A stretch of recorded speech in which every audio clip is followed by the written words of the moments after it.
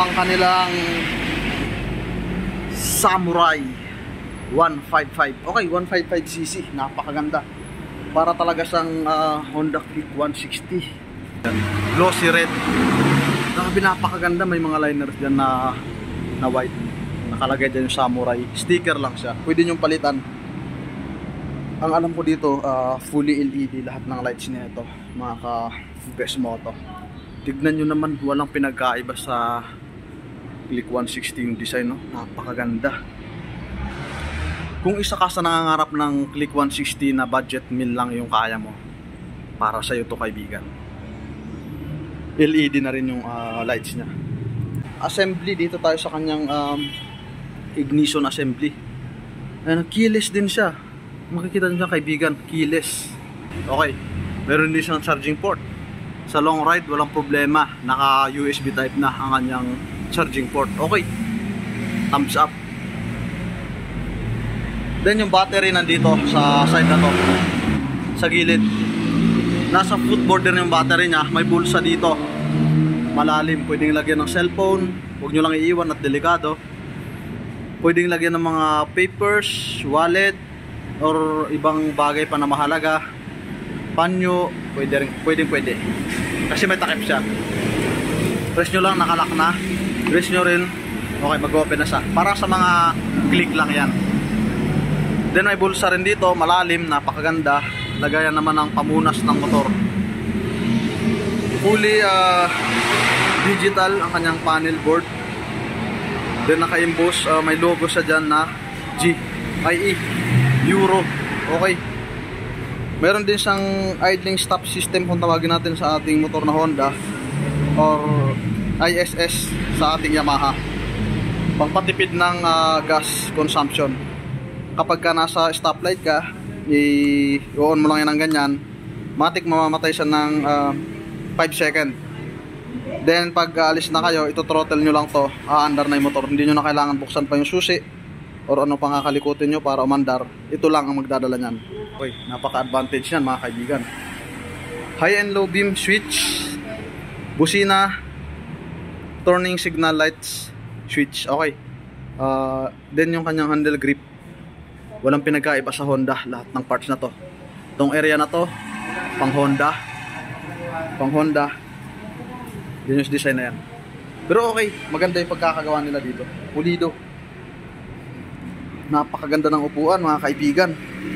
Single tone lang or isa lang yung texture ng kanyang seat cover. Pero may mga stitches dyan na design well actually hindi naman talaga sa stitches. Ano lang siya parang design lang. Parang plastic pero napakaganda ng cover. Napakakapal ng upuan niya. Maging sa passenger seat and then sa driver seat. Grab bar. Okay ganda ng grab bar. Naka matte black siya. Ganda oh. Kayo na lang bahalang uh, humusga kung ano yung uh, design na yan. Tail light. Ayan makikita nyo naman yung tail light. Oh. then yung mga signal lights niya. Fender ayan okay nandito tayo sa likod mga kaibigan. Ito pa rin dito pa rin tayo kay Samurai 155 FI ata to kung hindi ako nagkakamali. Then liquid cooling. Pillion Fortress. Okay premium na rin yung datingan. Then radiator nya ito yung cover. Meron siyang uh, malapad medyo malapad na mud flap. Para yung mga masiselan na bagay doon kagaya ng throttle body or anything na nandun sa loob hindi basta-basta mapapasok ng mga alikabok o mga talsik ng tubig buha-buhangin lalo na kapag maulan. Maganda rin yung kanyang under undernet no? Sporty pa rin. Tapos meron ka ng tire hugger. Tire hugger. Okay. Malaking tulong to kapag maulan. Then naka single uh, dish sa likod. Oh yung pinakamaganda dito mga kaibigan. Pinaka advance dito kay uh, Samurai Euro naka disc brake sa likod. Yan yung kanyang uh, swing arm yung bracket na yan parang sa click. And then napakaganda ng gulong niya sa likod dahil malapad. Size ng gulong sa likod 120 by 70 14 okay? 14 inches ang diameter ng kanyang mag sa likod. Then punta tayo dun sa unahan. Ayan okay dito sa unahan 100 by 80 14 14 din ang diameter ng kanyang uh, mags Parehas lang sa likod. Okay, maganda yung kanyang ah, front fender, telescopic shock dito sa unahan, then single swing arm shock sa likod.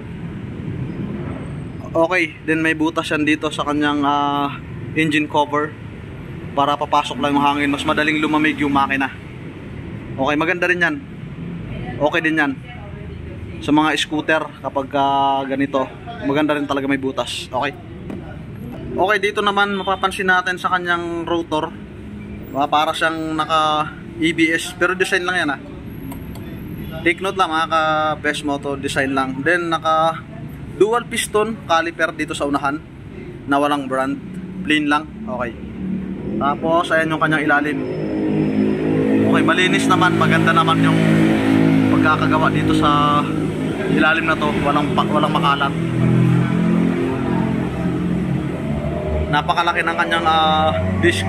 Ang ganda tignan. Then yan yung kanyang ah, head cover, ah, headlight. Ang ganda ng design. Fully LED, din meron siyang daytime running light. Ayan. Which is ah, nagpapa-visible sa'yo sa kalsada kapag ah, lalo na kapag maulan, madilim. Then dito meron din siyang naka parang logo na Rabi Rice E which is Euro. Then Euro. Kayo na ang humusga sa kanyang cowling. Ayan. Kung ano yung design na yan. Mamapansin nyo yan, mamapaisip na kayo kung anong design na yan. Then, syempre, parehas tayo naka disc brake sa likod at unahan.